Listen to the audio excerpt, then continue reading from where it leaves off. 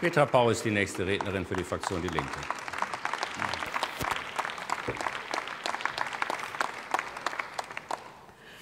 Herr Präsident, liebe Kolleginnen und Kollegen, wir reden über eine Verbunddatei für rechtsextreme Gewalttäter.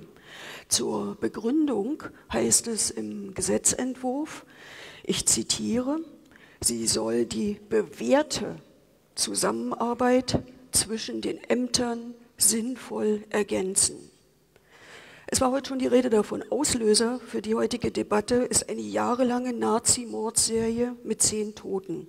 Danach von einer bewährten Zusammenarbeit der Sicherheitsbehörden in diesem Falle zu sprechen, das finde ich allerdings, finde ich allerdings dreist und würdelos, auch gegenüber den Hinterbliebenen.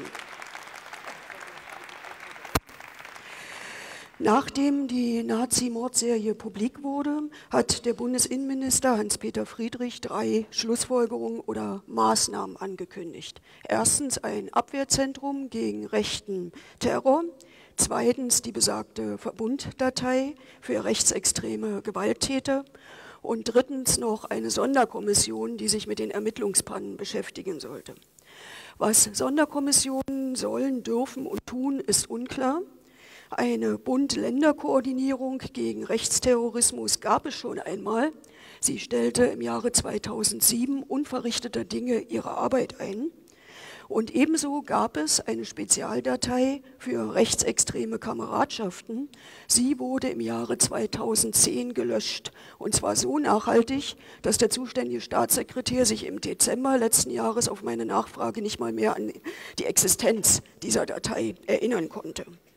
Kurzum, wir erfinden heute nicht den Stein der Weisen. Es geht zum Teil um alte Hüte, aufpoliert und vorher abgelegt.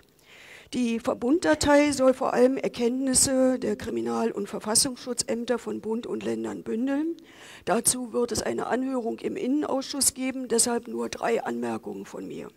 Erstens heißt es, das sei eine Täterdatei, keine Gewissensdatei. Der Gesetzentwurf schließt allerdings eine Gesinnungsdatei nicht aus. Und einem solchen Vorstoß wird die Linke nicht zustimmen. Zweitens, wenn Sie das Gesetz lesen, durch Sonderregelungen wird die unsägliche V-Leute-Praxis im rechtsextremen Milieu auch in diesem Gesetzentwurf fortgeschrieben. Das wäre für die Linke nicht hinnehmbar. Und drittens, lapidar wird im Text mitgeteilt, dass verbriefte Grundrechte eingeschränkt werden. Auch das ist so nicht akzeptabel. Es hat schon eine Rolle gespielt.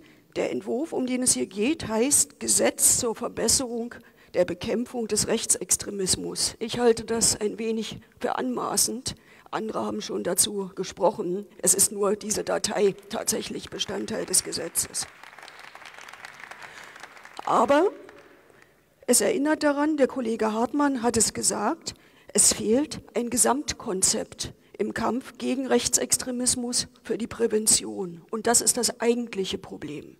Nun erwarte ich nicht, und das ist auch nicht Ihre Aufgabe, dass das Bundesinnenministerium dieses Gesamtkonzept vorstellt. Allerdings, ich erwarte es auch nicht vom Familienministerium nach der Geschäftsverteilung der Bundesregierung eigenartigerweise zuständig. Meines Wissens gab es nach der unglaublichen Nazi-Mordserie von der Bundesfamilienministerin zwei Reaktionen. Erstens, sie sei für Prävention zuständig, nicht für Morde. Richtig. Zweitens, sie werden ein Kompetenz- und Informationszentrum schaffen. Dieses Zentrum solle wertvolle Erfahrungen, auch pädagogische, im Umgang mit Rechtsextremen sammeln und verbreiten. Inzwischen konnten wir lesen, was da als pädagogisch wertvoll gilt. So sollten in Dortmund 30 militante Neonazis mit 30 demokratischen Jugendlichen plaudern, um die Nazis vom rechten Weg abzubringen.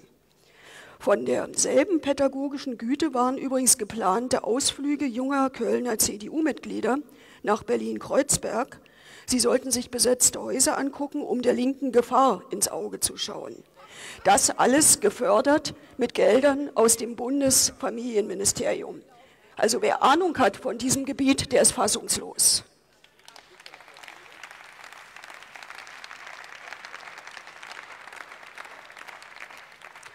Und deshalb, liebe Kolleginnen und Kollegen, wir können weiter über das Für und Wider von Verbunddateien streiten und werden das auch tun.